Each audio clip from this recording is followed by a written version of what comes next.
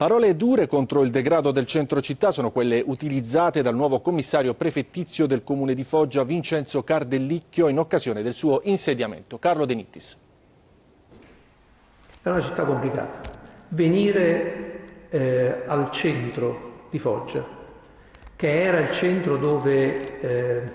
si veniva a, a fare gli acquisti, e venirci oggi e vedere il corso così ridotto non è piacevole.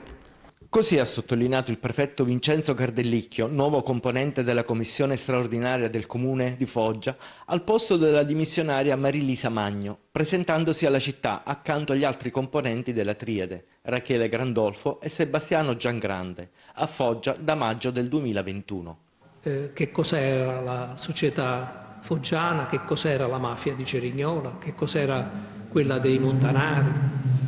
eh,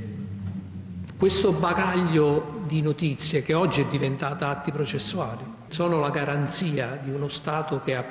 messo l'attenzione sulla città di Foggia, sulla provincia di Foggia, una, una provincia che ha visto decapitata